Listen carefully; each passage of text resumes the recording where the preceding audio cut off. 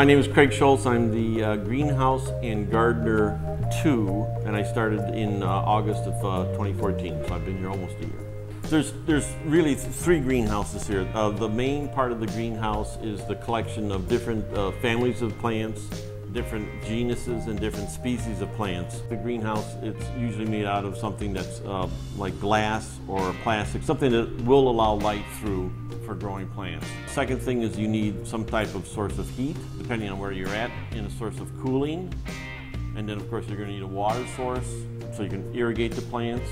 So to make the plant healthy, you're going to need something to put the plant in, like a pot.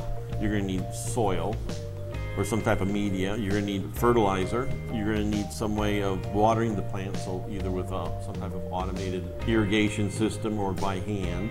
You're going to need tools for cutting things back, for controlling pests or diseases. So you're going to need some type of chemical or a biological control method or you can just pick them off by hand, which can be done depending on the size of the insect. If you're going to try and grow something in Mars in a space capsule or on the actual surface of Mars, one thing is you got to build some type of structure to protect the plant material. One of the things that the plants are going to need to survive is carbon dioxide for photosynthesis.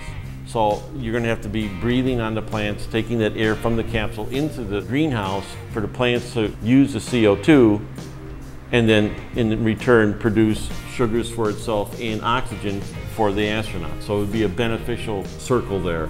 So you would have to build it close to the capsule for source of CO2, uh, protected from wind, be able to provide some type of heating or cooling system so it doesn't get too hot or too cold, and then water for uh, keeping it alive.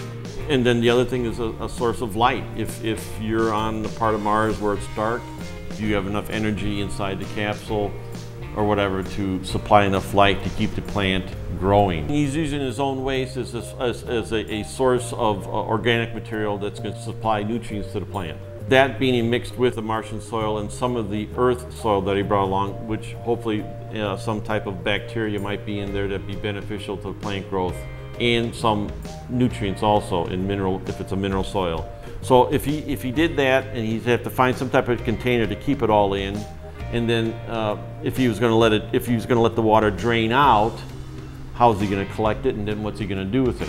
What he could do is something what's called hydroponic or nutrient film technique, where you have an enclosed system where you pass water past the roots and it's recycled continuously, so there's no waste. There you still have to monitor uh, uh, nutrient uptake, and he's doing potatoes, so it would be a potato wedge in there, and you would see different eyes shooting out shoots coming up.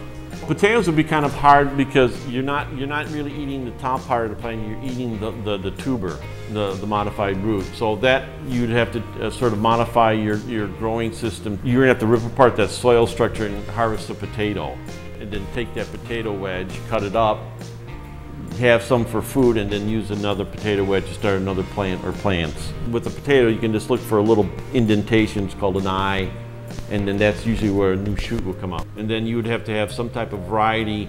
Uh, if you're gonna be there for a long time, nobody wanna eat potatoes for 10, 20 years all the time. Bring plants up there that you can uh, either divide like potatoes or uh, harvest seed from the fruit so you always have something to plant. Since you only had potatoes, that's a good source of starch that would work for a, a period of time to stay alive.